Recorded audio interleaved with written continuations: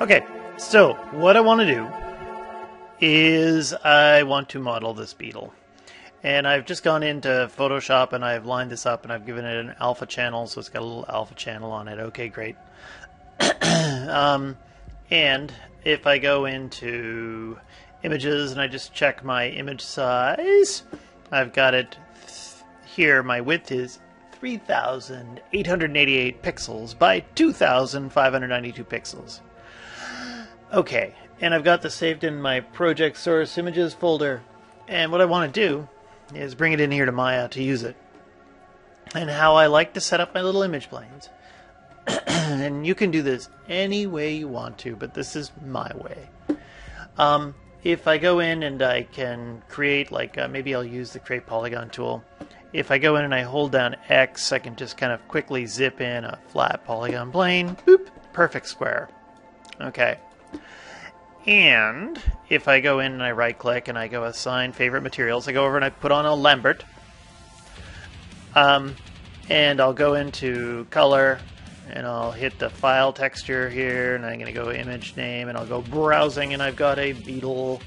Uh, there we go. That's the one I want. That's my reference image. Okay, wait a second, it shows up. Sometimes you have to go and click on this sample to update it.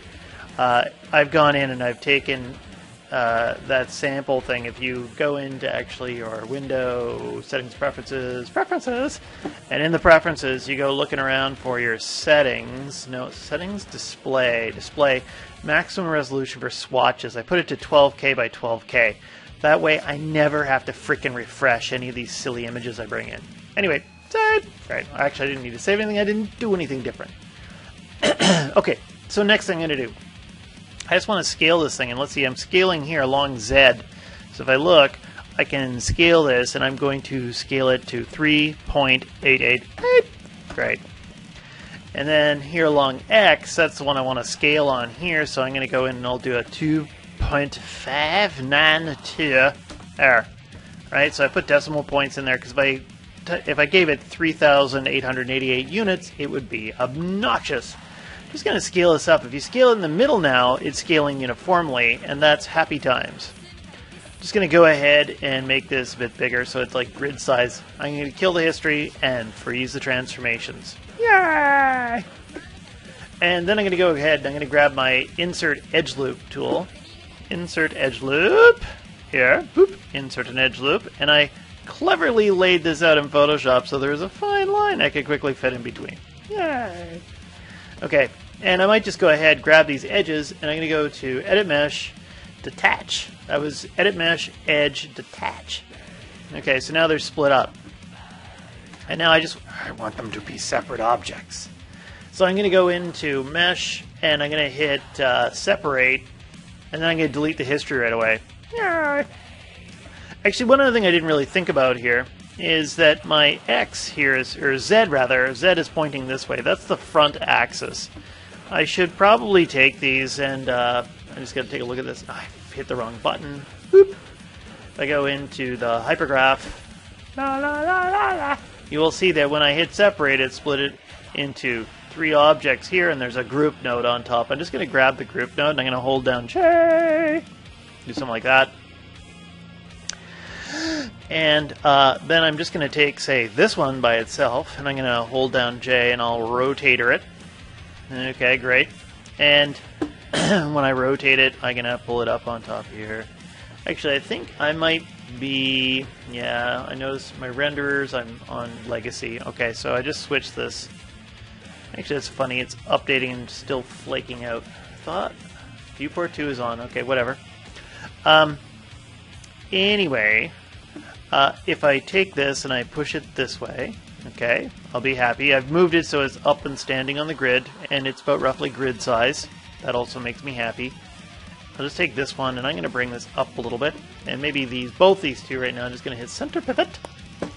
Okay, fine.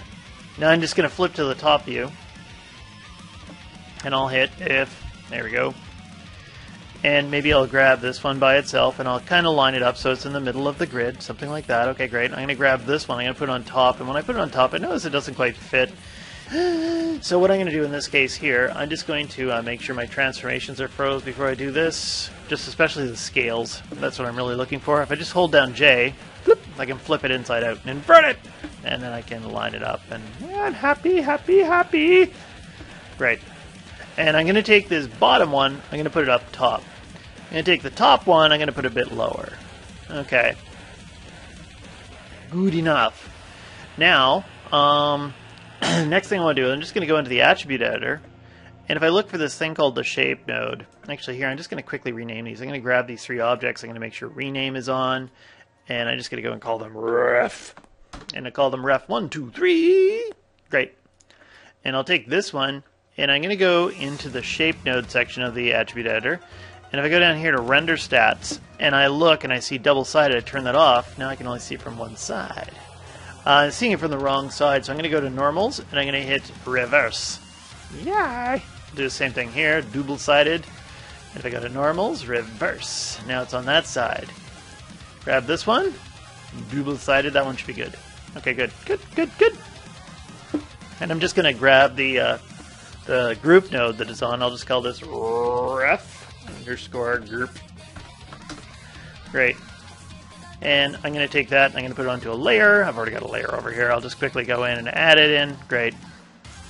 And there you can go in and open and close it. You can put it on reference so you can't select it. Okay, everything's locked in place. And now all I got to do is save it. And I'm ready to start modeling.